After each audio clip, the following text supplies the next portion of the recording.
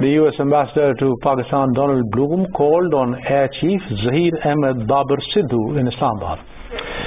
The discussion underscored matters pertaining to geopolitical environments leading to emerging regional security challenges, augmenting the already fortified bilateral ties and fostering collaborative endeavors within the realms of defense and aviation.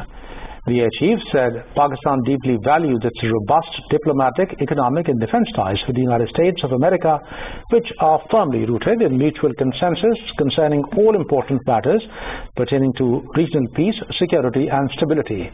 During the meeting, the visiting envoy extolled the commendable level of professionalism of Pakistan Air Force personnel and acknowledged the remarkable strides made by Pakistan Air Force. The U.S. ambassador also expressed his admiration for Pakistan's unwavering commitment to facilitate regional peace and stability.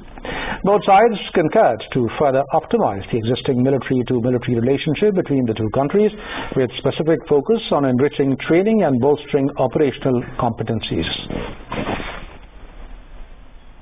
Election Commission of Pakistan has announced to conduct new delimitations of the constituencies based on the digital census